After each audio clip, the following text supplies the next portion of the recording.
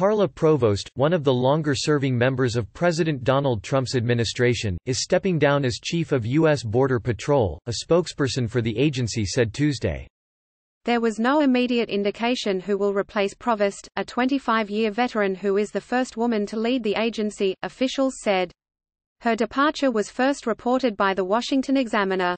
Border Patrol, the law enforcement arm of U.S. Customs and Border Protection, is part of the Department of Homeland Security. A Homeland Security official speaking on background described Provost's exit as pretty simple, saying it was related to her having become eligible to retire. Provost, 50, became acting chief in April 2017, when Chief Ron Vitiello became acting Deputy Commissioner of Customs and Border Protection. She became permanent chief in August 2018. Download the NBC News app for breaking news and politics. Last summer, Provost condemned racist posts about migrants that were made public after having been posted on a secret Facebook group for current and former Border Patrol agents, calling them completely inappropriate and contrary to the honor and integrity I see, and expect, from our agents day in and day out.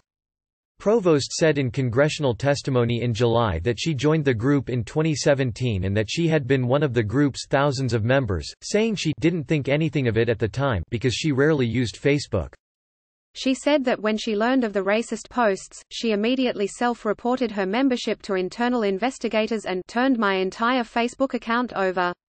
I gave them my log-in and my password, she said.